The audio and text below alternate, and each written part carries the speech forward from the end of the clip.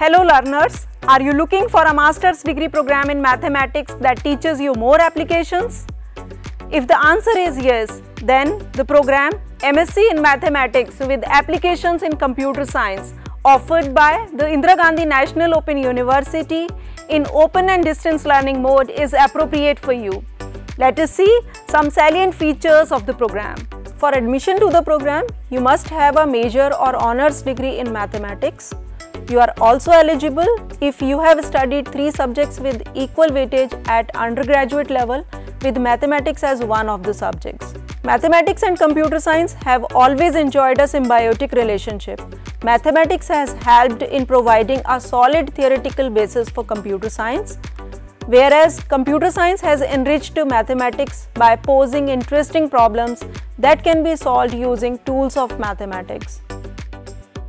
Because of this close relationship, the program team has designed a curriculum that has a judicious mix of core mathematics courses and exciting elective courses on some of the current applications of mathematics in computer science. This program has 64 credits divided equally over 4 semesters. The medium of instruction is English. The core mathematics courses include algebra, real analysis, complex analysis, programming and data structures, differential equations, probability and statistics worth 34 credits.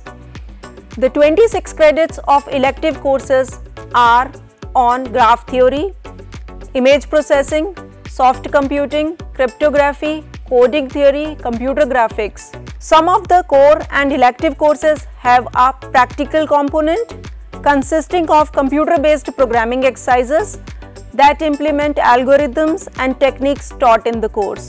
To give you some hands-on experience, the program has a project at the fourth semester.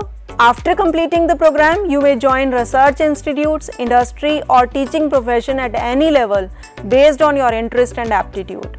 You can join the program during the January admission cycle or the July admission cycle.